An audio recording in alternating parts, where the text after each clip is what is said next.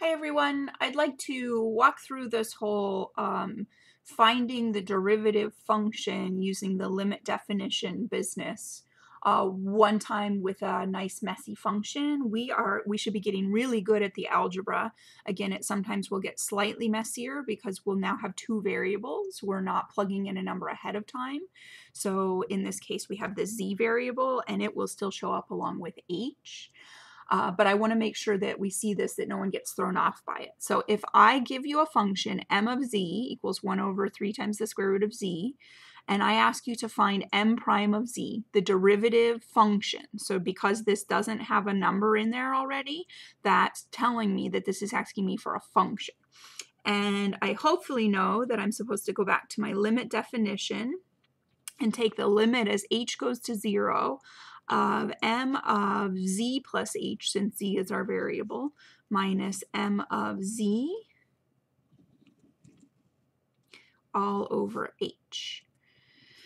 And do I want to sneak this? I think I'm going to move down a line right away. So when we go to plug that in, m of z plus h, I'm supposed to replace my input variable z with a z plus h. So this is our function evaluated just a little ways away from any given z value. And then we're supposed to subtract off m of z, which is just the original function. So this is our function evaluated right at our z. And then I'm supposed to divide by h. So again, this should be pretty familiar work. I did pick a nice messy one. This one has trouble with radicals and fractions, so we'll have to deal with both those things. Uh, and with that extra z in there, that'll also make it just a little messier. Instead of just having one variable, we'll have two.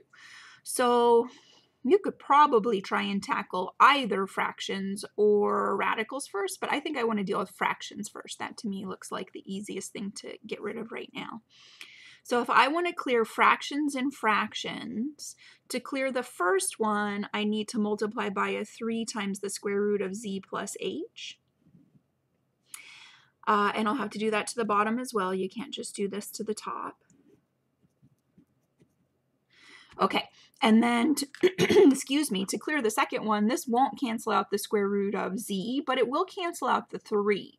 So really all I need is an additional square root of z if you don't spot that you don't really need another three and you make this a 3z, it'll work. You'll get the right answer, so don't panic about that. But if you're paying attention, multiplying the first one by 3z will cancel out the denominator. Great. I'm sorry, multiplying the first one by 3 root z plus h. Multiplying the second one by that will cancel out the 3, but then you'll still need to cancel out the root z. Okay, do I think I can? I think I can actually squeeze this in right here. Okay, so I get, when I multiply the first term, and the distribute is the really important one, the 3 square root of z plus h will cancel with the 3 square root of z plus h. And all I'll be left with is the 1 on the top and the root z. So I get a root z. When I multiply the second one, that minus sign is going to carry through. The 3's will cancel, the root z's will cancel. I'll be left with the 1 times root z plus h. And then on the bottom, I'm going to have an uh, h and a 3. I'm going to rearrange order a little bit there. And then the root 3 plus h times root z, which you can just leave if you want to. Or again, I'm just going to do this to remind you that it's legal to do. You can, when you're multiplying two radicals, you can smush that into one radical and say I have a z uh, did I change this to a 3? That's a z. And a z plus h under the radical. So whenever you're multiplying, you can put radicals together or take them apart across that multiplication. It doesn't work over addition, but it does over multiplication. Okay, and now that I worked so hard to fit that all on one line, I'm going to rewrite it anyways because I want you to be able to see what I do next. So I have a square root of z minus a square root of z plus h all over 3h times the square root of z times z plus h. Okay, so I dealt with the fractions and fractions, which basically just pushes some of that denominator mess down to the bottom, but that's okay.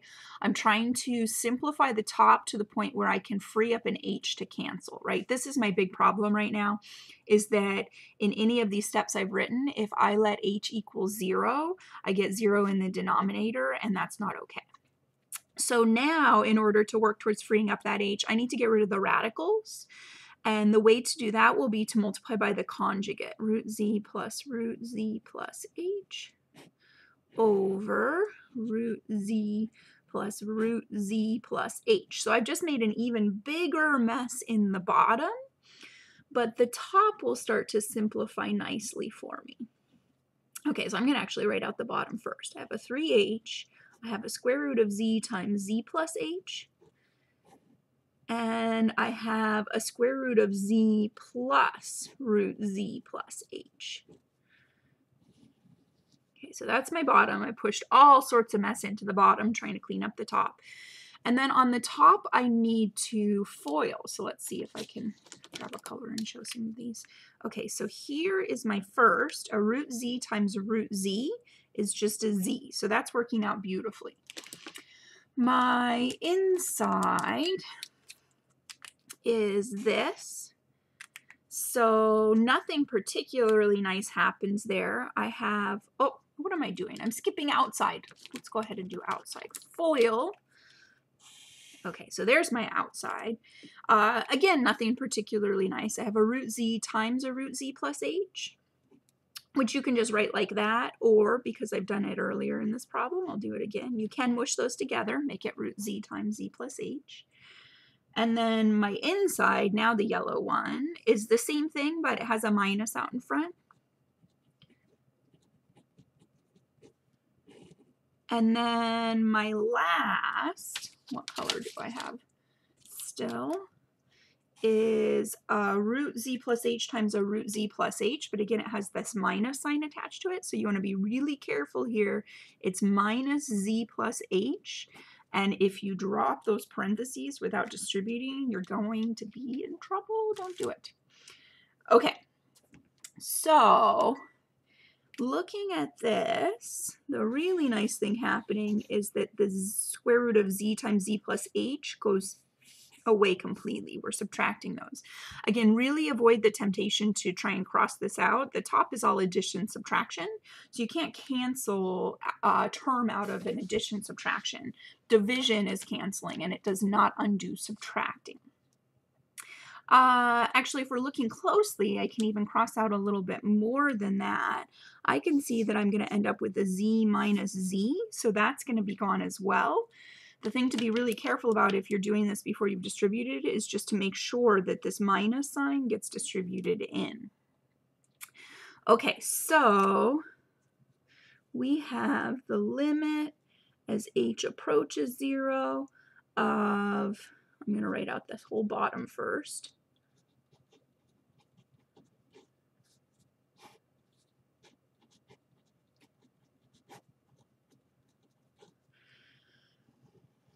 And then on the top, all we have left is a negative h. So we will get to cancel out the negative, or the h. We'll be left with a negative 1 on top. So I think I'm ready to go ahead and take the limit if you can visualize that. So the h is gone. I have a negative 1 left on the top. On the bottom, I have the 3. I have, let's see what I have, h going to 0 and h going to 0.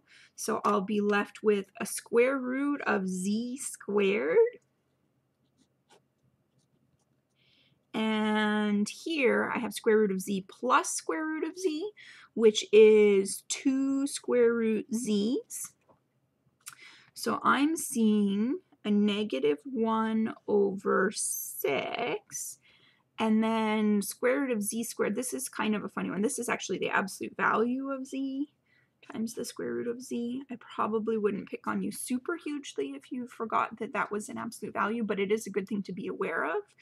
Um, you can plug negative z's in here, but you're not going to get back negative z's because you square them and it eliminates the sign. What you'll get back is the same number with no negative sign. Okay, so there was a really messy algebraically determine the limit function. I'm sorry, determine the derivative function using the limit definition. So this is my m prime of z, and it will input the same z values the function did, but it will not output y values, it will output slopes. So if I now ask you for m prime of 4, you should just be able to use your equation and say it's negative 1 over 6 times absolute value of 4 is 4 times the square root of 4, which is 2. So I have 24, 48. I have negative 1 over 48. And remember what that's telling me is that when z equals 4 for my original function, the slope of my tangent line will be negative 1 over 48. So that's a really shallow negative slope. And then, oh, sorry for the wiggle. The last part of this is to put this all together and find the equation for a tangent line. So we already know that the slope, I'm not going to write m because that was my function's name, is negative 148 we know that our z value, which is like our x here, is 4. And if we want a y value to go with that, we have to go all the way back to the original function, not the derivative. It'll give me slopes. The original function will give me y, and I'll get 1 over 3 times the square root of 4, which is 2. So my y value is 1 sixth. And when I put that all together, y minus 1 sixth equals my slope times x minus 4, oh, z minus 4 in this one. So y is equal to negative 148 z minus plus 112 plus 1 6. So the negative 148 times negative 4 becomes positive 112.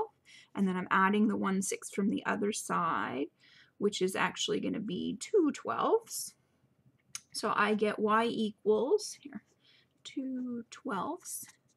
y equals negative 1 over 48 oh, z. Hold on, let me go back to this. This is 2 twelfths, which means when I add, I have 3 twelfths. Sorry, trying to do too many writing downs at once, which actually reduces really nicely. 3 twelfths is the same as 1 fourth. So there is the equation for my tangent line. And again, your calculator will check these for you really nicely, so make sure you show me all that work, and I do not want to see any decimals in something like this. The only time I would want to see decimals is if the problem started with them, or if you're working on a word problem and you want to give that approximate answer that's a little easier to make sense of. All right, thanks for watching.